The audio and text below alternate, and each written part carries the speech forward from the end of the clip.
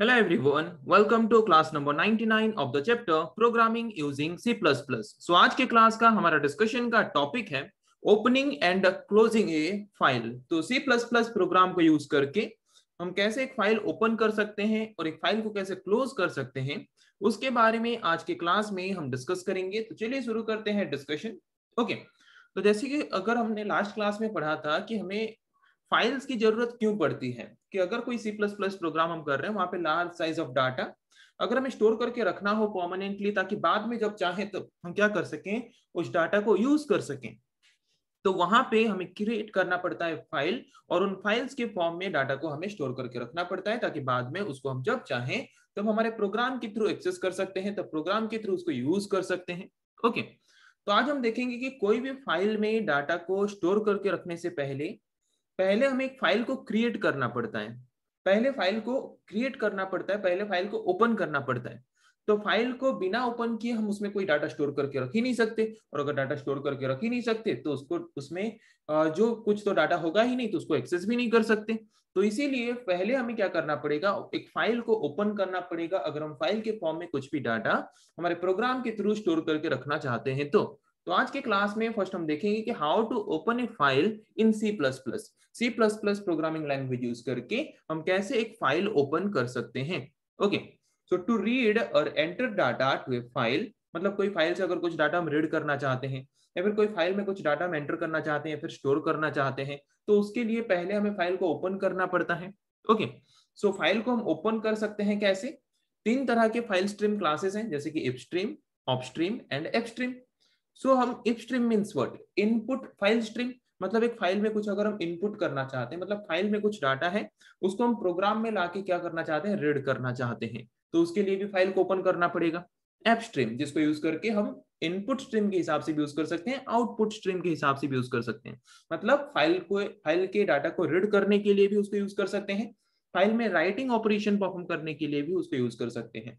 तो चाहे हमें रीडिंग ऑपरेशन परफॉर्म करना हो राइटिंग ऑपरेशन परफॉर्म करना हो फ़ाइल तो हमें ओपन करना पड़ेगा ही। तो if stream F and of stream सारे क्लासेस हमें क्या करते हैं? एक पर्टिकुलर फ़ाइल को ओपन करने के लिए जो मेथड या फिर फ़ंक्शन चाहिए वो फ़ंक्शन हमें प्रोवाइड करते हैं। ओके सो इफ़ स्ट्रीम हमें प्रोवाइड करता है ओपन Uh, मतलब कोई भी फ़ाइल को ओपन करने के लिए जो मेथड किस ऑपरेशन परफॉर्म करने के लिए? रीडिंग ऑपरेशन परफॉर्म करने के लिए। और F stream and of stream ये जो दो है, ये दो क्लासेस हमें प्रोवाइड करते हैं एक फ़ाइल को ओपन करने के लिए, हमें किस फ़ाइल को ओपन करके किस तरह का ऑपरेशन परफॉर्म करने के लिए? राइटिंग ऑपरेशन परफॉर्म करने के लिए ओके तो ऑल दीज थ्री ऑब्जेक्ट्स मतलब जैसे कि F stream of stream and F stream ये जो तीन अलग अलग क्लासेस हैं, तीनों क्लासेस के ऑब्जेक्ट को यूज़ करके हम क्या कर सकते हैं? एक पर्टिकुलर फ़ाइल को ओपन कर सकते हैं by using open function okay तो ये जो तीन क्लासेस हैं F stream if stream and of stream ये तीन क्लासेस के ऑब्जेक्ट को यूज़ करके हम क्या कर सकते हैं? ओपन फ़ंक्शन के थ्रू एक पर्टिकुलर फ़ाइल को ओपन कर सकते हैं सी प्लस प्लस प्रोग्राम में। तो सिंटेक्स क्या है फ़ाइल को ओपन करने का? ओपन उस फ़ाइल का नाम, जिस फ़ाइल के नेम को हम ओपन करना चाहते हैं, उसके बाद मोड कि फ़ाइल को हम किस मोड में ओपन करना चाहते हैं? राइटिंग मोड में या फिर सिर्फ़ रीडिंग मोड में? किस मोड में हम फ़ाइल को ओपन करना चाहते हैं, उसको स्पेसिफाई करेंगे इधर। ओके तो यहाँ पे एक फ़ाइल अगर ऑलरेडी पहले से क्रिएटेड है, अलग बात है, अगर फ़ाइल ऑलरेडी पहले से क्रिएटेड नहीं है तो यही ओपन फ़ंक्शन को यूज़ करके हम क्या कर सकते हैं, पहले फ़ाइल को क्रिएट करेंगे क्रिएट करके फिर उसको ओपन करेंगे। ओके तो यहाँ पे मैंने एक फ़ाइल को ओपन किया मतलब अगर इस नाम का फ़ाइल पहले से है तो ओपन हो जाएगा, अगर इस नाम का फ़ाइल पहले से नहीं है तो पहले क्रिएट होगा, फिर ओपन होगा। ओके तो इस नाम का फ़ाइल अगर पहले से नहीं होगा तो क्रिएट हो जाएगा। एस के एस फ़ाइल इस नाम से एक फ़ाइल क्रिएट हो जाएगा। और ये जो फ़ाइल हमने क्रिएट किया है किस मोड के लिए? आईओएस आउट मतलब input input output stream out मतलब ये आउटपुट स्ट्रीम के हिसाब से काम करेगा। आउटपुट स्ट्रीम के हिसाब से काम करेगा मतलब क्या? जो भी हम प्रोग्राम में डाटा को मतलब यूज़ करेंगे, जो भी प्रोग्राम में डाटा एज आउटपुट जनरेट होगा, उस डाटा को हम फ़ाइल में अगर स्टोर करके रखना चाहते हैं लेके तो वहाँ पे हम यूज़ करते हैं आउटपुट स्ट्रीम तो यहाँ पे हमने मोड जो दिया है आउटपुट स्ट्रीम वाला प्रोवाइड किया है। मतलब प्रोग्राम में जो भी डाटा आएगा एज ए आउटपुट उसको हम लेके क्या करेंगे? एस के एस फ़ाइल में लेके स्टोर करके रखेंगे। ये है उसका मोड। सो so, यहाँ पे जो फ़ाइल नेम था फ़ाइल नेम डिनोट करता है the name of the file which has to be open जिस नाम से हम फ़ाइल को ओपन करना चाहते हैं उस फ़ाइल का नाम हमें डिफाइन करता है कौन? फ़ाइल नेम एंड मोड क्या डिफाइन करता है? Different type of modes to open a file एक फ़ाइल को ओपन करने के लिए हम अलग अलग तरह के मोड्स यूज़ करते हैं। जैसे कि हम एक फ़ाइल को क्यों ओपन करते हैं? उसमें स्टोर किया गया डाटा को रीड करने के लिए ओपन कर सकते हैं। उसमें राइटिंग ऑपरेशन परफॉर्म करने के लिए उसको ओपन कर सकते हैं। पहले से कुछ डाटा राइट है, उस फ़ाइल के एंड से हम फिर से राइटिंग ऑपरेशन कुछ परफॉर्म करना चाहते हैं, उसके लिए फ़ाइल को ओपन कर सकते हैं। फ़ाइल में स्टोर किए गए डाटा को डिलीट करने के लिए फ़ाइल को ओपन कर सकते हैं। ओके तो ऐसे डिफरेंट टाइप ऑफ़ ऑपरेशन के लिए हम क्या कर सकते हैं? फ़ाइल को ओपन कर सकते हैं। सो so, किस और तरह के ऑपरेशन परफॉर्म करने के लिए हम फ़ाइल को ओपन कर रहे हैं उसको स्पेसिफाई करते हैं हम मोड में। ओके okay, तो डिफरेंट मोड्स हैं। जैसे कि अगर मुझे रीडिंग ऑपरेशन के लिए फ़ाइल को ओपन करना है तो मैं लिखूँगा आईओएस इन अगर मुझे राइटिंग ऑपरेशन के लिए फ़ाइल को ओपन करना है तो उसके लिए मैं लिखूँगा आईओएस आउट अगर मुझे फ़ाइल ओपन करना है अपेंड करने के लिए। अपेंड करने के लिए मतलब क्या? फ़ाइल में ऑलरेडी कुछ राइट किया गया है। उस फ़ाइल के एंड में अगर मुझे और कुछ एक्स्ट्रा राइट करना है तो उसके लिए अगर मुझे फ़ाइल को ओपन करना है तो उसके लिए यूज़ करेंगे आईओएस ऐप उसके बाद अगर मुझे फ़ाइल को अपेंड मोड में ऐड करना है ओके जो कि ऑपरेशन परफॉर्म करेगा बोथ रीड एंड राइट यहाँ पे अपेंड मोड में हम क्या कर सकते थे? फ़ाइल को ओपन करके सिर्फ़ राइटिंग ऑपरेशन परफॉर्म कर सकते थे बट यहाँ पे हम reading and writing both operation perform कर सकते हैं। ओके okay, मतलब पहले से कुछ डाटा स्टोर्ड है उसको पहले रीड करेगा। रीड करने के बाद उसके बाद जो डाटा है वहाँ पे राइटिंग ऑपरेशन परफॉर्म करेगा फ़ाइल के एंड से और फिर टोटल डाटा को वो क्या करेगा? रीड करने की फैसिलिटी हमें प्रोवाइड करेगा। अगर ऐसा फैसिलिटी हम यूज़ करना चाहते हैं एक फ़ाइल में तो उसके लिए यूज़ करेंगे इसको। उसके बाद अगर हम बाइनरी मोड में फ़ाइल को ओपन करना चाहते हैं तो यूज़ करेंगे इस मोड को। अगर हम ट्रंकेट मोड में ट्रंकेट मोड में मतलब क्या?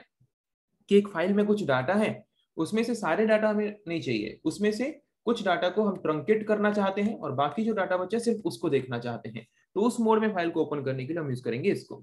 ओके उसके बाद अगर हम चाहते हैं कि अगर हम ओपन मेथड या फिर ओपन फ़ंक्शन यूज़ करके कोई फ़ाइल को ओपन कर रहे हैं, उस नाम का फ़ाइल अगर पहले से क्रिएटेड है तो सिर्फ़ ओपन हो। अगर पहले से क्रिएटेड ना नहीं है तो फ़ाइल को वो क्रिएट ना करे, अगर हम ऐसा चाहते हैं।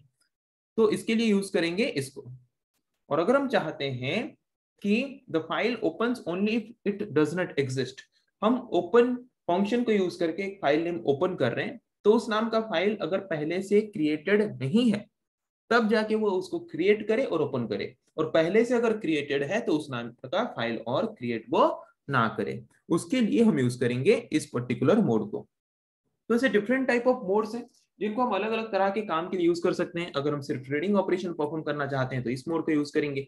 सिर्फ़ राइटिंग ऑपरेशन के लिए यूज़ करना चाहते हैं तो इसको यूज़ करेंगे। अगर एपेंड मोड के लिए यूज़ करना चाहते हैं तो इसको यूज़ करेंगे। ऐसे डिफरेंट टाइप ऑफ़ ऑपरेशन जिस तरह का ऑपरेशन हम फ़ाइल में परफॉर्म करना चाहते हैं उसी तरह का मोड हम यूज़ कर सकते हैं जब भी हम एक फ़ाइल को ओपन करते हैं या फिर क्रिएट करते हैं तो।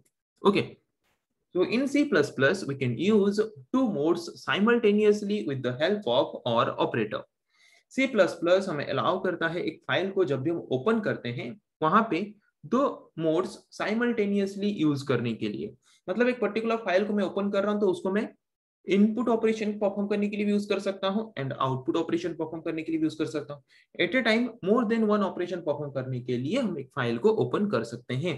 तो सी प्लस प्लस हमें अलाउ करता है more than one mode simultaneously by using OR operator एक फ़ाइल को ओपन करते वक्त यूज़ करने के लिए। तो जैसे कि आप यहाँ पे देख सकते हो, मैंने यहाँ पे iOS out and iOS in दो मोड मैंने यूज़ किया है simultaneously by using OR operator okay तो एक सिंपल प्रोग्राम देखते हैं फ़ाइल को ओपन करने का, एक सी प्लस प्लस प्रोग्राम के थ्रू हम कैसे एक फ़ाइल को ओपन कर सकते हैं? जैसे कि कोई भी सी प्लस प्लस प्रोग्राम हम शुरू करते हैं। हैज़ इंक्लूड प्री प्रोसेसर से आईओ स्ट्रीम हेडर फ़ाइल को लिंक करके, उसके बाद जबकि हमें फ़ाइल क्रिएट करना है फ़ाइल रिलेटेड ऑपरेशंस परफॉर्म करने हैं तो वहाँ पे हमें या तो इफ़ स्ट्रीम या तो एफ़ स्ट्रीम या तो ऑफ़ स्ट्रीम क्लास के फ़ाइल को हेडर फ़ाइल को हमें यहाँ पे प्रोग्राम में लिंक करना पड़ेगा। तो मैंने यहाँ पे प्रोग्राम में लिंक किया एफ़ स्ट्रीम फ़ाइल को। एफ़ स्ट्रीम फ़ाइल को लिंक करने के बाद फिर एफ़ स्ट्रीम फ़ाइल के एफ़ स्ट्रीम क्लास को यूज़ करके मैंने यहाँ पे क्रिएट किया एक ऑब्जेक्ट ऑब्जेक्ट का नाम मैंने दिया फ़ाइल नेम उस ऑब्जेक्ट नेम को यूज़ करके हम क्या करेंगे? उस पर्टिकुलर क्लास के ओपन फ़ंक्शन को कॉल करेंगे। ओपन फ़ंक्शन को कॉल करेंगे क्या क्रिएट करने के लिए? एसकेएस फ़ाइल, इस नाम से एक फ़ाइल को क्रिएट करने के लिए जिस फ़ाइल का मोड क्या है? iOS आउट मतलब जिस फ़ाइल में हम फ्यूचर में राइटिंग ऑपरेशन परफॉर्म कर सकते हैं। मतलब जिस फ़ाइल में हम क्या कर सकते हैं? डाटा को स्टोर करके रख सकते हैं। तो यहाँ पे ये जो सिंगल सेंटेंस हमने लिखा, ये सिंगल सेंटेंस यहाँ पे फ़ाइल को क्रिएट कर रहा है। तो यहाँ पे हमने ओपन फ़ंक्शन यूज़ करके क्या किया? एसकेएस फ़ाइल नाम का एक फ़ाइल हमने क्रिएट किया। ओके फ़ाइल क्रिएट करने के बाद सी आउट स्टेटमेंट यूज़ करके मैंने यहाँ पे एक मैसेज दिखाया।